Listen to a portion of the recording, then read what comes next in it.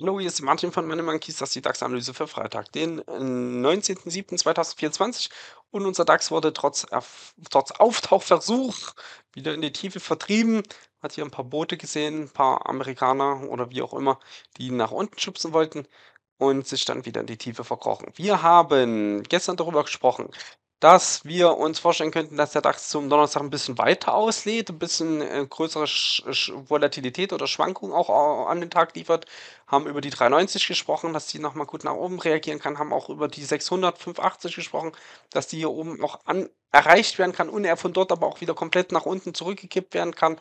Ähm, wenn die 390, 400 hier nicht hält, haben wir gesagt, kann er in die 335, 280 rein.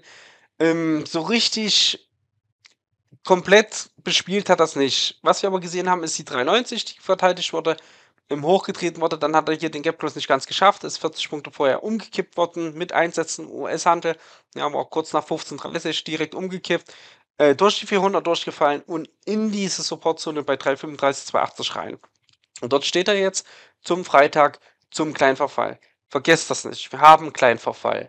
Das ist insofern wichtig, weil die Verfallswoche eine sehr prägnante Verfallswoche ist. Also dieses Gezerre und Geschiebe, was wir sehen, diese starken Gegenbewegungen auf beiden Seiten, ja, sehr hoch wie runter.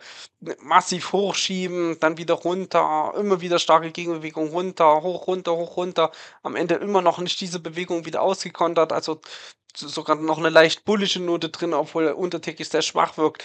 Ähm, das ist sehr typisch für Verfallswochen hier. Ähm, auch von der Fehlsignaldichte, die wir haben.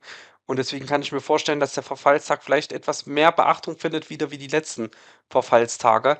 Ähm, denn die letzten Verfallswochen waren relativ human immer wieder gewesen. Also das ist durchaus wieder eine Verfallswoche, die ihrem Namen alle Ehre macht.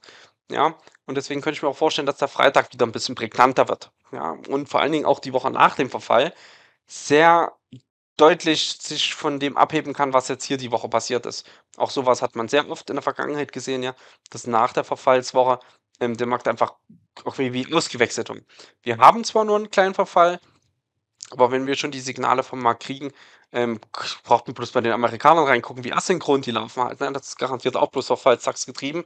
Das wird sich auch wieder nach dem Verfall matchen, ja, dass sie wieder ein bisschen gezügelter zusammenlaufen dann. Ähm, vergesst das nicht. 13 Uhr Verfall und dann noch die Aktienoptionen. Ähm, 17.30 amerikanische Optionen, die dann 22 Uhr abbrechen. Also ist genug Würze noch am Tag drin, ähm, die man hier einfach mit einplanen sollte. Ja, ähm, hm, ja wo waren wir stehen geblieben? Wir haben gesprochen, was wir gestern gesehen haben. Wir haben darüber gesprochen, dass wir einen Verfallstag haben. Ähm, ich würde das jetzt erstmal weiter behalten, dass wir auch uns für den Freitag mit wenn dann hier und da vorbereiten. Ähm, hatte das gestern auch noch mal ein bisschen versucht herzuleiten, ne? auch mit Seitwärtsmustern und so weiter, Marktphasenableitung, dass nächste Woche eben auch ein bisschen vom Fa von der Phase sich einfach von der Marktphase sich abändern kann. Ähm, das hat gestern nicht jedem geschmeckt, das habe ich an den Kommentaren gesehen. Ähm, würde das aber so trotzdem beibehalten, weil ich schon der Meinung bin, dass ich den meisten so mehr helfe, wenn ich euch auf, auf alle Szenarien vorbereite, die, die hier kommen können und die irgendwie reinpassen halt. Ne? Ähm, sei das positive Betrachtung wie auch negative Betrachtung und ihr das Beste draus macht halt. Ne? Und ähm, eben dann auch nutzt. Mir geht das nicht darum, am Ende zu sagen, ich habe das, wir haben das gewusst und wir haben das vorhergesehen oder wir haben ja vollkommen richtig gelegen. Das habe ich auch noch nie gesagt, ja. Dass wir total geil sind und ja die übelste Performance machen. Sowas habe ich noch nie gemacht. Mir geht es einfach nur darum, dass ihr vorbereitet seid, wenn der Markt fällt. Mir geht es darum, dass ihr vorbereitet seid, wenn der Markt fällt, wenn der steigt oder wenn der zur Seite läuft. Dass ihr einfach wisst, in welchen Bereichen kann der sich bewegen, wo habt ihr die Kursziele und ich glaube, das gelingt denen, die die Analyse verstehen oder die sie verstehen wollen. Das ist ja das ganz Wichtige. Es gibt manche Leute, die wollen es einfach nicht. Die wollen, die sind mit ihrem Leben unzufrieden, wollen hier rumstenkern, suchen dann irgendwie YouTube-Video aus und bleiben so drauf hängen und ärgern sich da jeden Tag drüber, weil sie es scheiße finden. Das ist dann so. Das kann ich nicht ändern, ja. Aber die Leute, die es verstehen wollen und die es auch verstehen, dieses Wenn-Dann-Denken, ich glaube schon, dass denen das sehr hilft. Und deswegen behalten wir das bei und fangen hier auch direkt mit dem ersten Wenn-Dann-Szenario an. Und das wäre, wenn unser DAX am Montag gut reinkommt, hat er das Zeug, dieses Tief sogar schon stehen zu lassen. Das, das, äh, das Tief vom Donnerstag ist nämlich dadurch, dass es in dieser Supportzone 335, 280 steht und rein vom Auge. Ich weiß nicht, ob ihr so was auch seht, aber das das das triggert einen, ja? Die das Verhältnis von der Welle, das das ist zu der im Verhältnis, ja? Das da da da w gibt's sogar komm, wir können mal FIBO drauflegen. Gibt's hier so Time FIBO, finde ich das? Wartet mal. Oh, wo findet man das? Hier, hier, trendbasierte Time FIBO. Ähm, könnte man jetzt hier überlegen und dann die Abwärtswelle zu der und das ja, guckt mal, auf die Kerze, auf die Kerze, genau, wirklich 200% Also, die Welle ist quasi auf die Kerze genau doppelt so lang wie die Abwärtswelle und die beiden stehen ja schon super in der Harmonie zueinander. Ah, das das triggert einfach mein Auge so halt, ne? Und das gibt auch mehreren Marktteilnehmern so. Und deswegen kann ich mir gut vorstellen, dass wir über 3,50 hier tatsächlich eine größere Gegenbewegung auch einleiten können zum Freitag, ähm, wenn unser DAX dann tatsächlich positiv äh, notieren will zum Freitag. Aber ich bräuchte ihn über 3,50. Ich ich will den ich ich brauche irgendwie so 'n 'ne 'ne 'nen 'nen 'nen Trigger-Event halt, ne? Und das wäre 'n Überbieten von 3,50. Idealerweise vielleicht sogar per Aufwärtsgap. Aufwärtsgap und das Gap offen lassen, auch wenn's nicht groß ist, ist das Beste, was er machen kann, wenn er sich oben strecken will.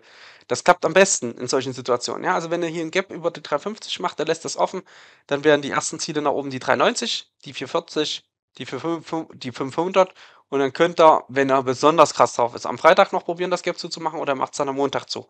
Ja, wenn er das hinkriegt. Wenn er sich hier jetzt aufgebäumt kriegt, kann er das wirklich abschließen, weil das schön in Harmonie mit der vorherigen Welle steht.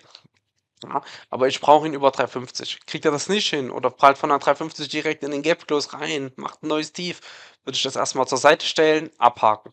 Die Erholungsziele bleiben aber bleiben zwar gleich, ja, 3,90, 4,40, 500, das egal von wo er in Erholung geht, aber ich würde, wenn er das nicht annimmt und hier nicht nach oben verwandelt, würde ich ihn eher unten noch mal 'n paar Stationen tiefer sehen.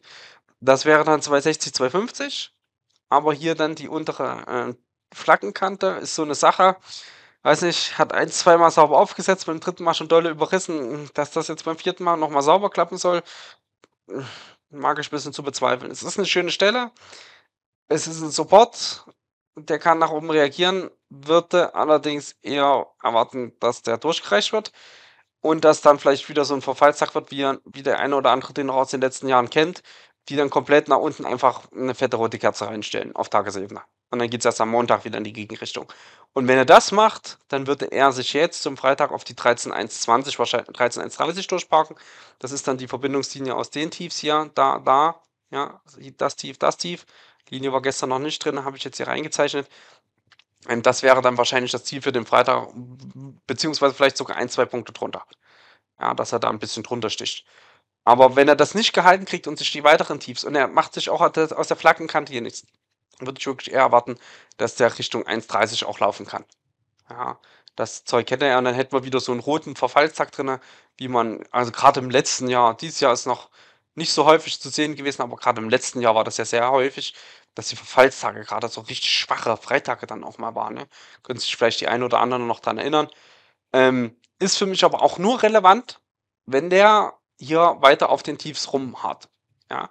Wenn der über 'ne 3,50 geht, würde ich nicht unbedingt an 'nen Short denken. Also, ich würde wirklich ihm erst mal diese Erholungschance lassen, weil das für mich besser noch passt, als dieses jetzt komplett nach unten durchschießen.